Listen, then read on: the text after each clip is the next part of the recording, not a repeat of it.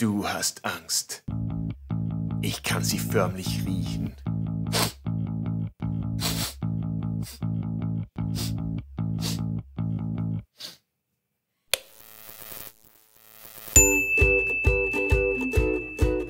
Jeder Mensch hat Ängste. Du und deine Angst, ihr zwei, ihr seid ganz normal. Jesus sagt, in der Welt habt ihr Angst. Da gibt es ganz viele Möglichkeiten, Angst zu haben. Ich habe Angst auf dem Nachhauseweg vielleicht. Ich habe Angst vor, vor Verlassenwerden in der Beziehung. Ich habe Angst vor, vor den News. Wenn du Zeitung liest und du kriegst so ein beklemmendes Gefühl. Angst vor, vor Flugzeugen, da könnte man abstürzen. Angst vor Podcasts, das wäre ein dummes Gefühl, wärst du jetzt schon nicht mehr hier. Aber es gibt ganz viele Möglichkeiten, Angst zu haben.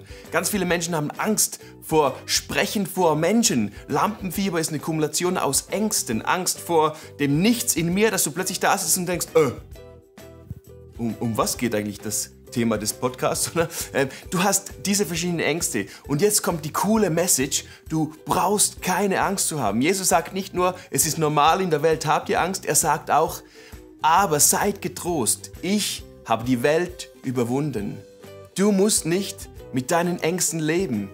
Im 1. Johannes 4,18 heißt es, wo die Liebe regiert, hat die Angst keinen Platz mehr. Gottes vollkommene Liebe vertreibt jede Angst. Und die Bibel sagt, Gott ist die Liebe. Wenn du also mit deinen Ängsten da ganz alleine auf deinem Sofa sitzt, dann ist die Lösung, dass du Gott in dein Leben hinein einlädst. Und die Furcht wird verschwinden.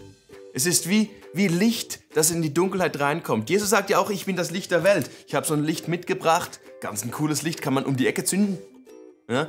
Ähm, kann man für, ich weiß gar nicht, warum man das braucht so. Aber vielleicht, ja, guck mal. Ja. Und dieses Licht kannst du in die Bereiche deines Lebens hineinleuchten lassen. Vielleicht sitzt du da und sagst, ich habe ja Gott schon mal irgendwie so, ich, ich glaube an ihn, er ist ein Teil von meinem Leben und doch sind diese Ängste da.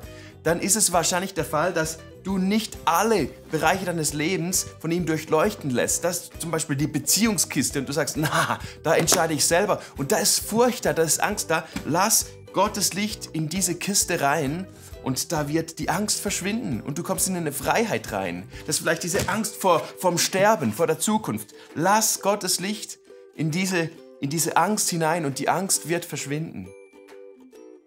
Alles in deinem Leben ist immer getrieben von Furcht oder von Liebe. Und Furcht und Angst sind ein ganz schlechter Ratgeber. Lass dich von Gottes Licht füllen Lass diese Liebe dein ganzes Leben durchfluten und alle Bereiche deines Lebens ausfüllen und du wirst angstfrei unterwegs sein.